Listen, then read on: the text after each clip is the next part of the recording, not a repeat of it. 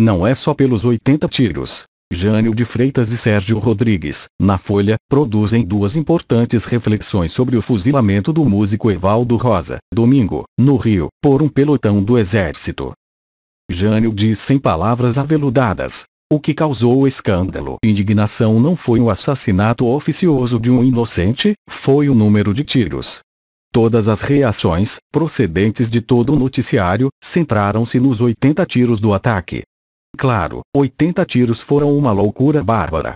Fossem 3, 4, entrariam na sequência catalogada dos crimes atuais. Sequência que Sérgio Rodrigues simboliza na expressão CPFS cancelados, criada pelo jornalismo sensacionalista e seus equivalentes nas redes sociais. A comemoração tácita e serena, nem sequer eufórica, de um ato banal e desprovido da aura trágica que o justiçamento à moeda antiga pudesse ter. Puxar o gatilho é mais fácil quando se mata um cadastro, mas a força da expressão não se restringe a isso. Ao ouvinte que por qualquer motivo rejeitar seu gélido desdém pela vida humana, soa como uma agressão horrível, isso também está em seus planos. Vem daí a eficácia com que demarca os campos do nós e do eles.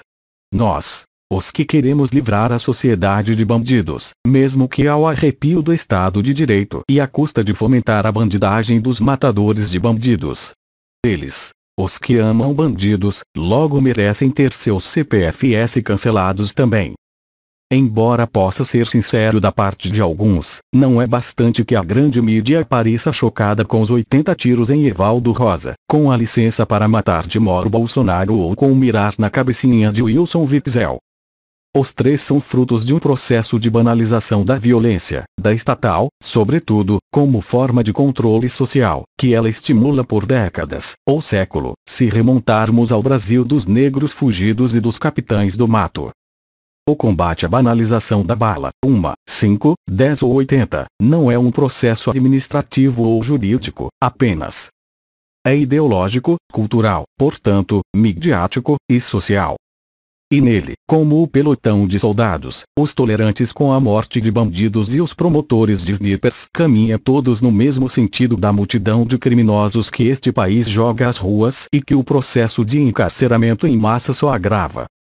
É a mesma lógica macabra e cúmplice que fez, ontem, o ministro da Defesa, Fernando Azevedo Silva dizer que havia boa intenção nas milícias, quando elas surgiram, mas que depois elas se desvirtuaram, não há boa intenção ou virtude a perder quando se naturaliza o crime, ainda que como reação ao crime,